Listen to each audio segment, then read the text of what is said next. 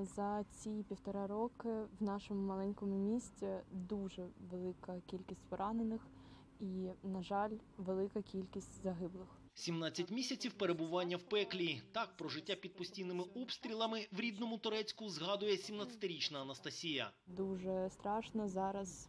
Дуже важка артилерія в місті працює. Це гради, це фаби, е, різні взагалі міномети, і все це летить по місту. І частіше за все, це від цього страждають мирне населення. Смерть декілька разів дихала в спину, говорить мама трьох дітей Віта Желябовська. Щоразу сковував страх.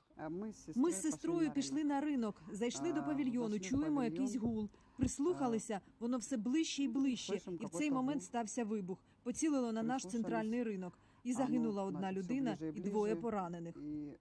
Після побаченого жахіття жінки довго плакали та молилися.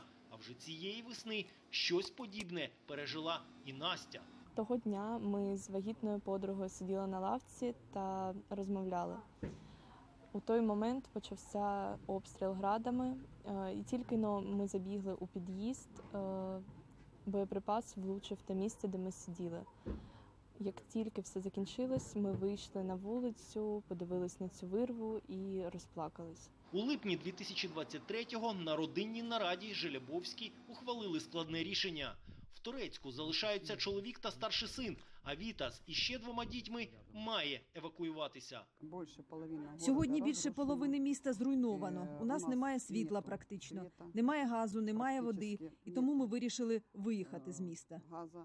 Завдяки волонтерам, хоч і не з першої спроби, жінці із двома дітьми таки вдалося виїхати з рідного Турецька. Під час евакуації цієї родини попали під масовий обстріл.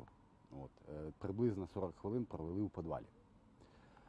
Е, як стало трішки тихіш, е, швидко сіли по машинах і хутко поїхали е, у бік Константинівки, там, де більш-менш безпечно. Ввечері того ж дня родина дісталася Дніпра, де оселилася в одному з невеличких шелтерів міста. Вже восени Анастасія планує стати студенткою юрфаку. Її мама розпочала пошук роботи, а дев'ятирічний Микита готується до дистанційного навчання в рідному класі. Микита, а про що ти мрієш? Щоб закінчилася війна А ким мрієш стати? Е, або е, воєнним, щоб захищати батьківщину.